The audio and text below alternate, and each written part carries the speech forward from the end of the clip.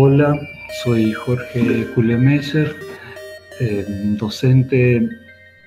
en el doctorado en Ciencias Sociales y en la maestría en Teoría y Metodología de las Ciencias Sociales de nuestra facultad. He estado a cargo del dictado del módulo de Ciencia y Tecnología y quería leerles hoy extractos de un escrito que forma parte de un libro que se llama Diversidad Sociocultural en el NOA, Experiencias e Investigaciones, que fue compilado en el año 2012 por Omar Jerez e Ingrid Julián a partir de unas ponencias que presentamos en el 2010 en unas jornadas que se hicieron en la facultad. El texto se llama Dificultades y oportunidades que ofrecen las nuevas formas de la significación de la distancia en su relación con la educación. El propósito de esta lectura tiene más que nada que ver con el subrayar eh, la necesidad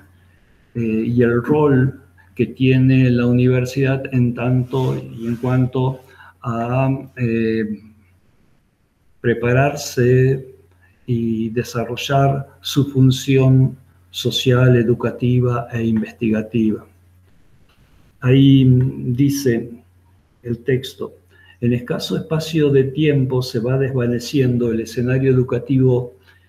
que dominó más de una centuria basado principalmente en el respaldo del papel impreso, con el docente presente materialmente delante del educando como figura principalísima en cuanto a capacidad de transmitir instrucción formal en una institución cuyo espacio físico y ámbito de influencia estaba claramente definido. La red rompe con el monopolio del profesor como fuente principal de la gestión del conocimiento y pone en cuestión los modos operativos de las instituciones educativas en su conjunto. Frente a ello,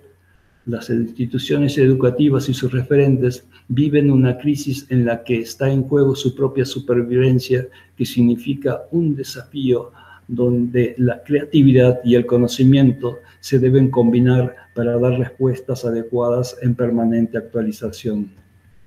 La universidad, por definición, naturaleza y función, debe ser hábil intérprete de las realidades sociales construidas y en construcción hoy es puesta en cuestión justamente en los terrenos en los que mantuvo desde sus inicios un liderazgo pocas veces discutido. Nada sirve seguir equipándonos para un mundo que ya no existe. Surgen nuevos desafíos asociados a posibilidades de mayor inserción social y mejora de la calidad educativa que deben ser atendidos en base a un entendimiento de la situación, conocimiento de las tendencias y decisión institucional. Los alumnos de hoy no son los sujetos para los cuales el sistema educativo fue diseñado. La necesaria alfabetización digital como factor de inclusión social encuentra que los destinatarios de estos empeños no se corresponden con las franjas etarias que mayoritariamente requerían de instrucción décadas atrás. En principio, no se plantea una dificultad de mayores costos, sino de políticas, de comprensión y adecuación, de cambio de paradigmas con irrupción de nuevos actores. No se trata solo de usar el recurso Internet para dar información, acceso a bibliotecas digitales, al uso de la red por parte de docentes y alumnos en y fuera del aula y facilitar las gestiones administrativas, sino de utilizar el ciberespacio como un nuevo escenario para desarrollar actividades educativas por parte de los docentes universitarios, sabiendo cuál es la percepción de los alumnos, sus posibilidades e implicancias en el uso de herramientas tecnológicas. Habrá que desarrollar y practicar estrategias para la mediación tecnológica intergeneracional, aprender sobre las nuevas formas de aprendizaje,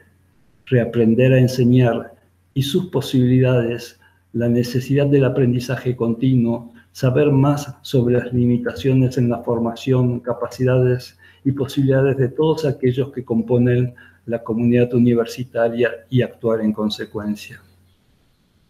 La universidad no solo debe enseñar en el más alto nivel, también es responsable de estar en la vanguardia de la producción de conocimientos. La universidad, como espacio creativo de contención y encuentro, seguramente no perderá su capacidad de convalidación en la adquisición y transmisión de conocimientos, además de reinventarse y transformarse a sí misma mediante nuevos esquemas de actuación para mantener su arraigado protagonismo en la sociedad. Bueno, em, quiero invitarlos a seguir leyendo juntos y a seguir formándonos en los posgrados que ofrece la Facultad de Humanidades de la Universidad Nacional de Jujuy, al tiempo que quiero agradecerles la atención. Muchísimas gracias.